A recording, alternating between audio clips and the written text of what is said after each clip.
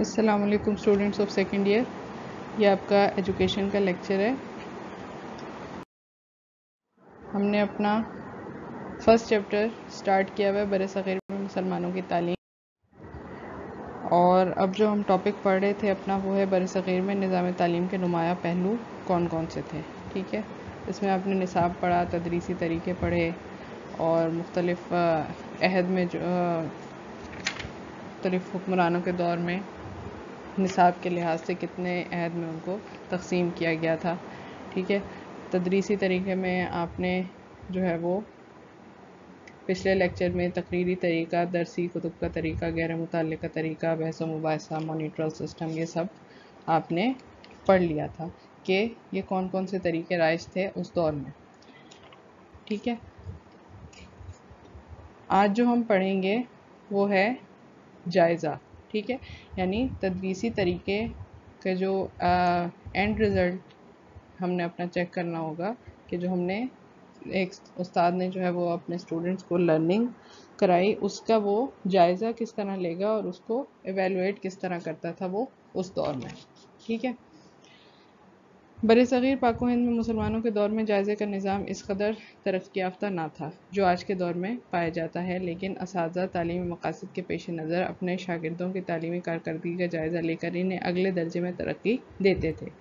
बर सग़ीर पाको हिंद में जिस दौर के हम तालीमी निज़ाम पढ़ रहे हैं, मुसलमानों के कायम करदा हुकूमत के जेर साया, उस दौर में ये बताते हैं कि जो जायज़े का निज़ाम है, इस कदर तरक्की याफ्ता नहीं था। जायज़ा मतलब evaluation system of evaluation evaluation किस तरह से होती है? जो ये आपके एग्ज़ाम्स लिए जाते हैं टेस्ट लिए जाते हैं, आपके प्रैक्टिकल्स होते हैं और उसके बाद आपकी ग्रेड ग्रेडिंग करके आपको पास या फेल कंसिडर करके जो बच्चे उस जायज़े को या उस एवेलुएशन में पास हो जाते हैं, उनको नेक्स्ट क्लास में प्रमोशन दे दी जाती है और जो उसमें फ़ेल हो जाते हैं, वो सेम क्लास रिपीट करते हैं। तो इसी तरह से उस दौर में ये जायज़े का निज़ाम या मेथड्स ऑफ़ एवेल्यूएशन इतने ज़्यादा तरक्की याफ्ता नहीं थे या इतने ज़्यादा स्ट्रॉन्ग नहीं थे। लेकिन फिर भी उस दौर के जितने भी इस थे, वो अपने तलीमी मकासद को सामने रखते हुए, यानी उनको जो अपनी तदरीस से जो भी मकसद हासिल करना होता था, उसको सामने रखते हुए जायज़ा लेते थे कि उनके सिखाए हुए इल्म की किस हद तक बच्चे या जो उनका तालब इल्म है, उसके किरदार में किस हद तक तब्दीली आई। और फिर उसी मुता उस जायज़े के ही बुनियाद पर वो उनको अगले दर्जे में या अगली क्लास में तरक्की देते थे। एक दर्जा पास करने के लिए कोई ख़ास मदद मखसूस नहीं थी।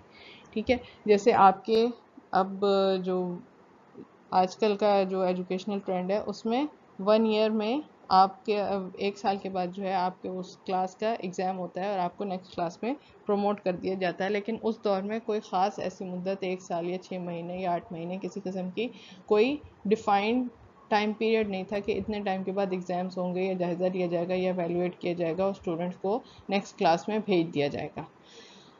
इब्तदाई तालीम में आमोख्ता का तरीका राइज था। छोटे बच्चों को जो सबक दिया जाता था, मौलम इसे सुनकर अगले सबक पढ़ने की इजाज़त देता था। आमोख्ता मतलब उसको ज़बानी अच्छी तरह से याद कर लेना। इब्तदाई तलीम में जो इब्तदाई क्लासेस थी, जो छोटी जमातें थीं, उनमें आमोख्ता का तरीका राइज था, यानी बच्चों को सबक पढ़ा दिया जाता था और जब उनको वो सबक उस्ताद सुने और वो उनको अजबर याद हो और अच्छी तरह से वो उसको सुना दें तो उसको अगला सबक दे दिया जाता था। ठीक है? मौलम हफ़्ते में एक दिन आमोख्ता सुनने के लिए मुकर करता था, यानी इब्तदाई तलीम में जिस चीज़ का जायज़ा लिया जाता था वो हाफजा था और इस तरह ये मालूम किया जाता था कि बच्चों ने किस कदर सबक याद रखा है। ठीक है? यानी एक दिन, हफ़्ते में एक दिन जो है वो मुकर होता था आमोख्ता के लिए सबक याद किया हुआ सबक सुनने के लिए।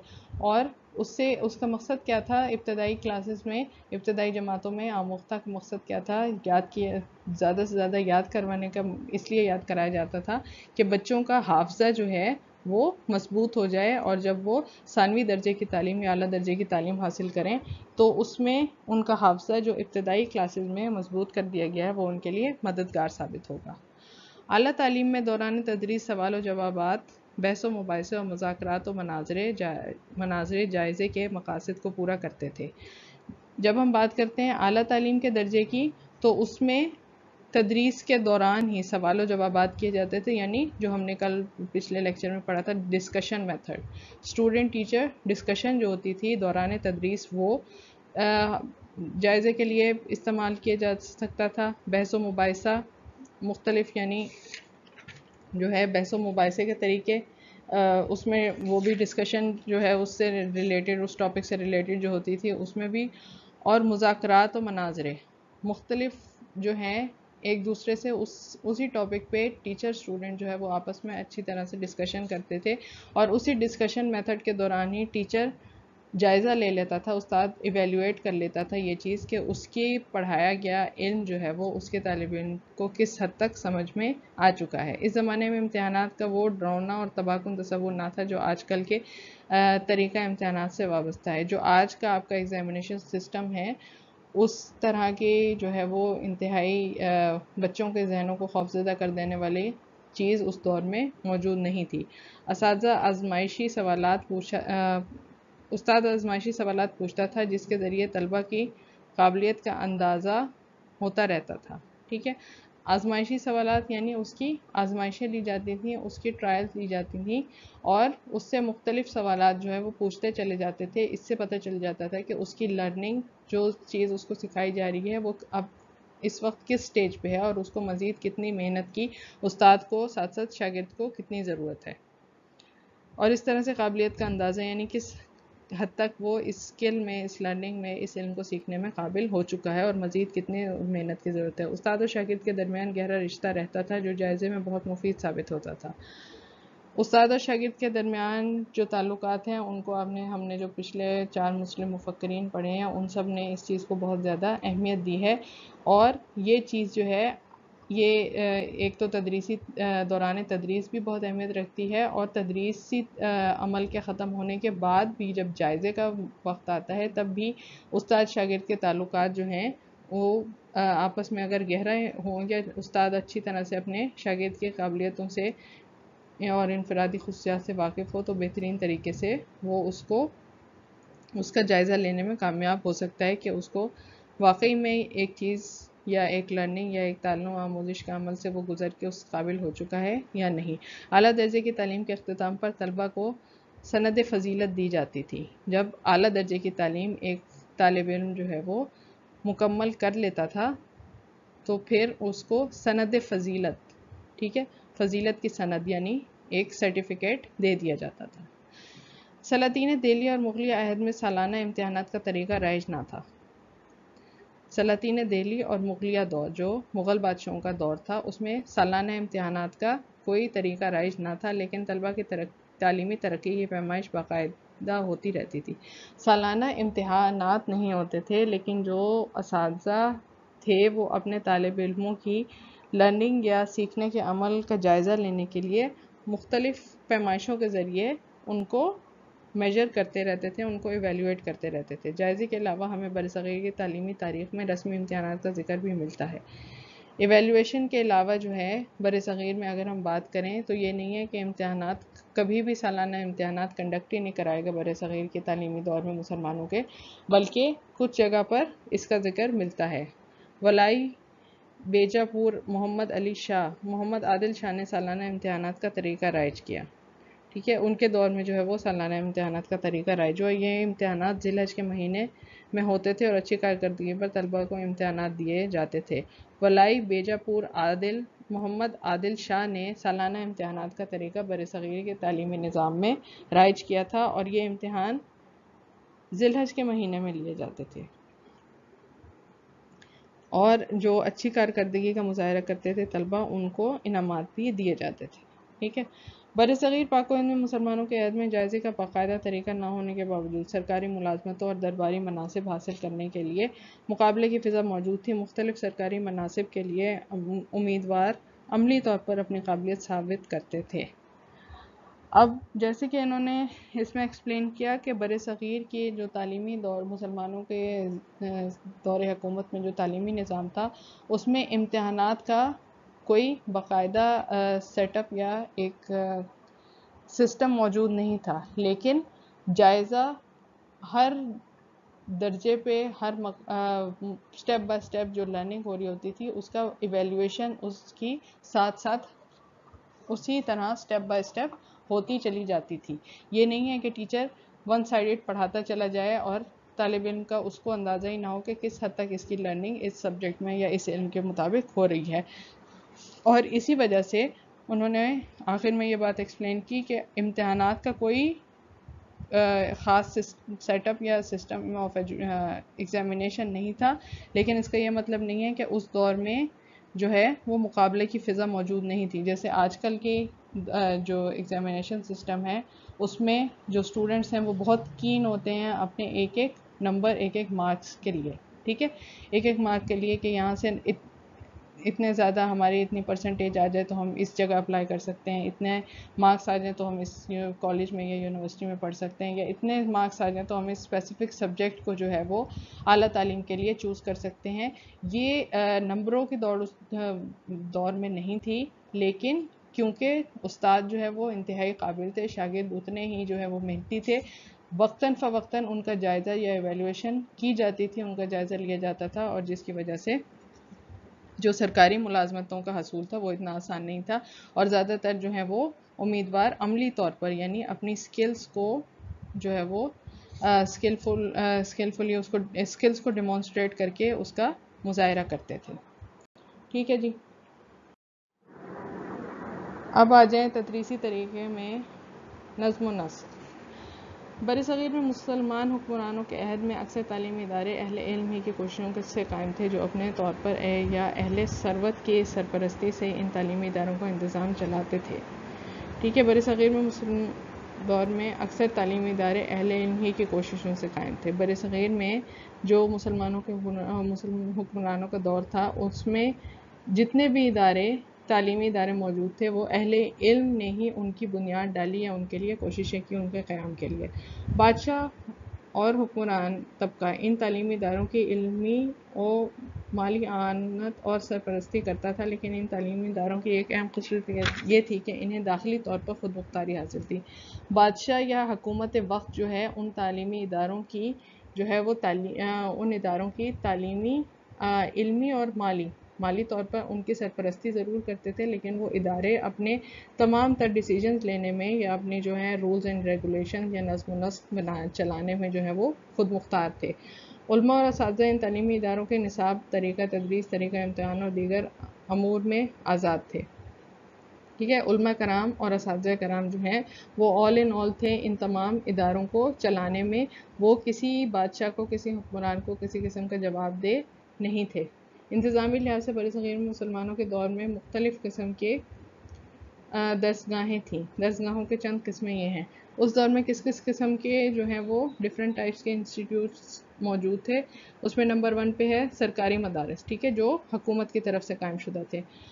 नंबर टू पे मसाजिद में कायम मदारस। ऐसे मदारस जो आपने स्टार्ट में पढ़ा, जो मस्जिद के साथ मुंसलिक थे ठीक है? मस्जिद होती थी उसी में मदरसा कायम कर दिया जाता था जैसे आज के दौर में भी हमारे मुल्क में भी ऐसे मदारस मौजूद नंबर थ्री पे आ जाए खानकाहों और मज़ारात से मुलका मदारस जो आ, वली अलिया के जो कब्रें या खानकाहें थीं और मज़ारात थे उनके साथ भी मदरसों का क़्याम कर दिया जाता था। वहाँ भी दरस तदरीस का अमल जो है वो जारी रहता था। नंबर फोर पे उलमा कराम के कायम करदा ज़ाती मदारस जो उलमा कराम इस चीज़ को अफोर्ड कर सकते थे या इतने साहिब हैसियत साहिब इस्तात होते थे तो वो अपना मदरसा जो है वो ख़ुद अपने घर के साथ या एक अल, किसी अलग जगह पे जो है वो कायम कर लेते थे ताकि तालीम के फरी जो है तरसील उससे जारी रहे। ठीक है? कदीम हिंदुस्तान का तलीमी निज़ाम दाखिली तौर पर आज़ाद और ख़ुद मुख्तार था। निजी और शख्सी तालीम तालीमी इदारे तो एक तरफ़ सरकारी सतह पर कायम किए गए मुख्तल तालीमी इदारों के नज़म नस्क की पॉलिसी भी यकसान, में भी यकसानियत न थी, बल्कि इन मदारस के उलमा और इस नज़म नस्क के सिलसिले में आज़ाद और ख़ुद मुख्तार थे। यानी हर जो भी इंस्टीट्यूट वहाँ पर मौजूद था, उस हिंदुस्तान में, वहाँ का हिंदुस्तान का यानी तालीमी निज़ाम जो है वो दाखिली तौर पर अपने अंदर जो है वो इंडिपेंडेंट था, ठीक है? हर इंस्टीट्यूट के रूल्स एंड रेगुलेशन जो हैं, वहाँ का जो उस्ताद होता था इस होते थे, या आलिम, या उल्मा होते थे, वो ख़ुद उसको डिफ़ाइन करते थे या बनाते थे। मदारस में दाखिल, दाखिले के लिए किस कस्म की शराय, किसी कस्म की शरात ना थी, तालीम के लिए उम्र की कोई पाबंदी ना थी। अरबी मदारस में दाखिला अमूमन शवाल के महीने में होता था अवकात तालीम में कोई बाकायदगी ना थी अली तालीम के मदारस में बाहमी रबता का कोई इंतज़ाम ना था। इसके बावजूद निसाब तरीका तदरीस और अवकात तालीम में यकसानियत पाई जाती थी। हर मदरसा अपने तमाम जो अमूर हैं, उनको सर अंजाम देने में ख़ुद मुख्तार था। किसी को किसी से इंटरलिंक नहीं किया जाता था। कोई जो है वो दूसरे के को या हकूमत वक्त को किसी भी किस्म का जवाब दे नहीं था। और किसी किस्म किसी किस्म की एज की लिमिटेशन नहीं थी कि इतने एज के लोग जो हैं वो इस तालीम हासिल कर सकते हैं या इस क्लास में या इस जमात में जो है वो दाखिला ले सकते हैं। ना ये लिमिटेशन थी कि इतने अरसे में इस जमात का या इस इल्म को मुकम्मल करके अगले इनकी जो है वो तालीम हासिल करना शुरू करनी है, ठीक है? इसके बावजूद इन सब जो है वो जो चीज़ें हैं, इनके बावजूद निसाब तरीक़ा तदरीस और अवकात तालीम ये सब तमाम एक से होते थे तमाम मदारस में। तलब इल्म एक दर्जा का निसाब ख़त्म करने के बाद दूसरे दर्जे में पहुँचता था। तलबा में इस के लिए हद दर्जा एहतराम पाया जाता था और इस के ज़ाती काम करने में भी खुशी और राहत महसूस करते थे। कदीम हिंदुस्तान के इस्लामी मदारस के नज़म नस्क का मुवजना आज के तरक्की याफ्ता दौर के तलीमी इदारों के नज़म नस्क से किया जाए तो हम यकीन से कह सकते हैं कि कदीम हिंदुस्तान के इस्लामी मदारस का नज़म नस्क मिसाली था। नज़म नस्क की मिसाल होने की सब मिसाली होने की सबसे बड़ी वजह तलबा के दिल में इस और इल्म का एहतराम था। उस दौर में जो सबसे बड़ी चीज़ थी, वो एक तालब इल्म के दौर में दिल में अपने उस्ताद का और जो जिस इल्म के हसूल के लिए वो कोशा हैं, उसके लिए नेक नियति और एहतराम था। ठीक है? अंग्रेज़ की आमद से कबल बर सग़ीर में मुसलमानों के दौर की इलमी सरगर्मियों के मुताले से चंद अहम खसूसियात हमारे सामने आती हैं। अंग्रेज़ों के आने से पहले पहले बर सग़ीर में जो तालीमी दौर चल रहा था मुसलमानों की सरपरस्ती में, उसकी जो मेन क्वालिटीज़ हैं वो ये हैं। हर मस्जिद इब्तदाई तालीम के मरकज़ के तौर पर काम करती थी, तालीमी सहूलियात यूनिवर्सल थी और मुफ़्त फराम की जाती थी। मस्जिद जो है वो पहला तालीमी मरकज़ होती थी। हर बच्चे का, चाहे वो मस्जिद से मुल्क का मदरसा हो या मस्जिद में वो वैसे कुरान शरीफ की तालीम हासिल करने जाता हो तमाम तर जितने रिसोर्स तालीम की तरसील के लिए या तालीम तदरीसी अमल को बेहतर बनाने के लिए इस्तेमाल होते थे, उनकी फरावानी थी, किसी किस्म की कमी नहीं थी। मुफ़्त रहाइश के अलावा तलबा को वज़ाइफ भी दिए जाते थे। मकसद तालीम रज़ा इलाही और नियाबत इलाही का हसूल था। अंग्रेज़ की हुकूमत कायम होने के बाद तालीम का मकसद सरकारी मुलाजमतों के लिए तैयारी और रोज़गार का हसूल करार पाया। मस्जिद तमीर का तालीम का मरकज़ ना रही, महदूद तादाद में स्कूल खोले गए, जिसके नतीजे में तालीम महदूद हो गई और यूनिवर्सल ना रही। अंग्रेज़ जब आए तो उन्होंने जो मुस्लिम मकासद तालीम चले आ रहे थे, उसमें रज़ा लाई का हसूल जो है वो और दुनिया और आखिरत दोनों की भलाई जो है वो, उसका तालीम का बुनियादी मकसद था। लेकिन जब अंग्रेज़ों का दौर शुरू हुआ तो सिर्फ़ नौकरी का हसूल जो है वो तालीम का बुनियादी मकसद बनकर रह गया। मुसलमानों के दौर में निज़ाम तालीम अवाम, अवामी और आज़ाद था। हुक्मरान अपना फ़र्ज़ समझते हुए तालीम की तरक्की पर बेपना रकम खर्च करते थे, मगर इनके मगर इनके इंतज़ामी मामला और निसाब में कतन मदाखलत नहीं करते थे, लेकिन अंग्रेज़ों ने बरसर इकदार आते ही बिला तफरीक मज़हब सेकुलर बुनियादों पर मुसलमानों और हिंदुओं के लिए यकसा निज़ाम तालीम राइश किया, ताकि एक मखसूस जहनीत पैदा की जा सके, जिससे मगरबी अफकार की अशात मुमकिन हो जाए। ठीक है? ये वो सारे काम हैं, वो तबाही है मुसलमानों के तालीमी निज़ाम की, जो अंग्रेज़ों ने आकर की। और जो उस दौर की मुस्लिम हुकूमत थी, वो मुसलमानों की हुकूमत थी, वो उनके जो नज़म नस्क के मामला हैं, उनमें किसी किस्म की मुदाखलत नहीं करती थी, लेकिन जो उनका माली अखराज हैं, वो हर मदरसे की हुकूमत खुद उठाती थी। लेकिन अंग्रेज़ों ने आके मुदाखलत भी की और साथ साथ जो है वो स्कूल्स की या मदरसों को ख़त्म कर दिया गया और बहुत कम तादाद में स्कूल खोले गए ताकि एक मखसूस जहनीत या गुलामाना जहनीत के लोगों की एक फ़ौज तैयार की जा सके जो उनके हुक्म की, को बजा लाएँ। अंग्रेज़ी दौर में उर्दू और फारसी की फ़ारसी की जगह अंग्रेज़ी को ज़रिया तालीम बना दिया गया, मखलूत तालीम को रिवाज दिया गया और मजमू तालीमी माहौल बना दिया, मजमू तालीमी माहौल ऐसा बना दिया गया कि मुसलमान जो पचास फ़ीसद से ज़्यादा तालीमी याफ्ता थे। इनमें खानगी की शरह कम होते होते पाकिस्तान के क्याम तक बीस फ़ीसद की सतह से भी नीचे आ चुकी थी। तालीम की कमी की वजह से पाकिस्तान बेशुमार कुदरती ज़रा वसाइल के बावजूद माशी और माशरती तौर पर दुनिया में बहुत पस्त मकाम तक पहुँच चुका है। माशी और माशरती बेहतरी और मुल्क की ज़रा वसाइल से फ़ायदा उठाने के लिए आज़ादाना और यूनिवर्सल एजुकेशन बहुत ज़रूरी है। इन शॉर्ट, अंग्रेज़ों ने जो उस वक्त मुसलमानों के एक बेहतरीन तालीमी निज़ाम जो उनके दौर हुकूमत में राइज था, जो उसकी जड़ें को खोखला किया और उसको तबाह किया, उसकी तबाहकारियों के जो असरात हैं, वो आज तक भी हम अपने, यानी क़्याम पाकिस्तान के बाद भी हम उनका सामना कर रहे हैं और आज तक भी जो है वो हम उस तालीमी निज़ाम को राइज नहीं कर सके, जो अंग्रेज़ों के दौर से पहले बर सग़ीर में मुसलमानों का तालीमी निज़ाम चलता आ रहा था। ठीक है? सेकेंड ईयर ये आपका फ़र्स्ट चैप्टर कंप्लीट हो गया। ये बहुत इंपॉर्टेंट चैप्टर भी है, बहुत लेंथी चैप्टर भी है। इसमें बहुत सारे ऑब्जेक्टिव्स हैं, मैं आपको साथ साथ बता दी, आई हूँ और उस मार्क पे कराए हैं आपको। शॉर्ट क्वेश्चंस लॉन्ग क्वेश्चन ये चार जो मुस्लिम मुफक्रीन हैं जो हमने पढ़े, वो बहुत इंपॉर्टेंट हैं। बर सग़ीर के निज़ाम तालीम के नुमाया पहलू, ये सारे बहुत इंपॉर्टेंट हैं। जो आपके तरीक़ा तदरीस है बर सग़ीर के निज़ाम तालीम का वो और निसाब को जो तीन अदवार में तकसीम किया गया है वो, ये सब चीज़ें जो हैं मोनिट्रल सिस्टम हो गया, जायज़ा और ये इन सब पे लॉन्ग क्वेश्चन भी आता है और ये शॉर्ट क्वेश्चन में भी बहुत इंपॉर्टेंट है।